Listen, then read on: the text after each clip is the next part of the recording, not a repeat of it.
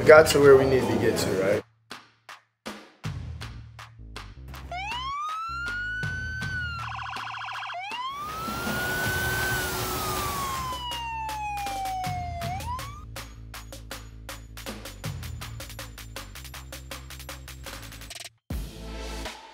How these guys have impacted my life is something that I can't even describe, so I couldn't even imagine taking the court with anybody besides them.